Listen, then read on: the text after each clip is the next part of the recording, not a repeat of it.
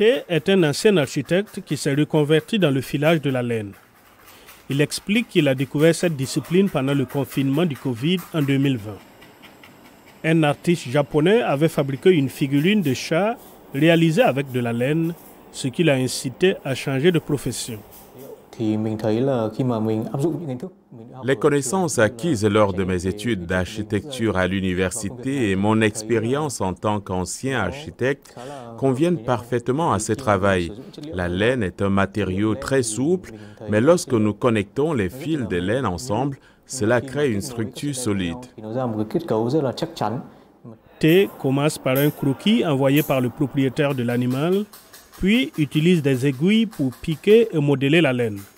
Il fixe ensuite les yeux et place le portrait dans un cadre. Afin de rendre son œuvre aussi réaliste que possible, il étudie l'anatomie des animaux de compagnie pour comprendre la structure de leur crâne et de leur squelette. Il discute également avec ses clients des caractéristiques de l'animal afin de faire ressortir sa personnalité dans les portraits.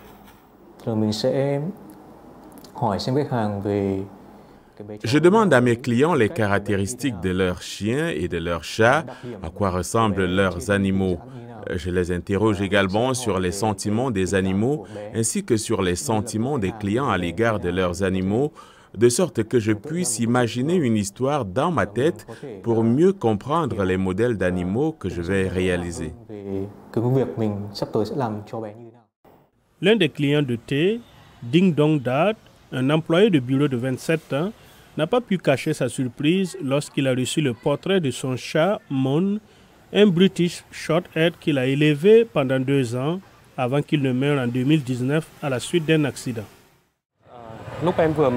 Lorsque je reçus cette œuvre d'art, j'ai été surpris car je n'imaginais pas qu'une œuvre d'art en laine puisse ressembler à la réalité. Je peux sentir l'âme du chat à travers les yeux et d'autres détails comme le nez, les moustaches. Ça me semble si réel et me donne l'impression que mon chat est à nouveau vivant. Chaque œuvre coûte plus de 200 dollars en fonction de la complexité du modèle. En plus de lui rapporter de l'argent, M. T ajoute que ce travail de filage à l'aiguille lui apporte un sentiment de calme. Ce procédé dans lequel les artistes utilisent de la laine et une aiguille pour créer des modèles d'animaux hyper réalistes existe depuis le XVIIIe siècle en Europe et est récemment devenu populaire au Japon.